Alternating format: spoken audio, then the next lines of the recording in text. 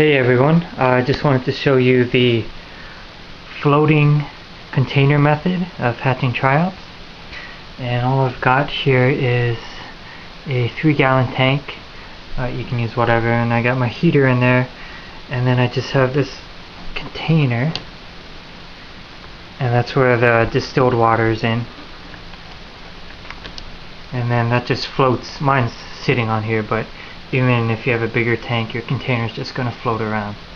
So I got that with some distilled water there. And then I'm just going to take my triops and detritus and whatever and dump that in there. And just mix it up.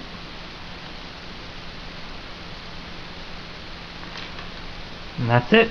So I like this better because you don't have to deal with the light and but you know you have to have a heater.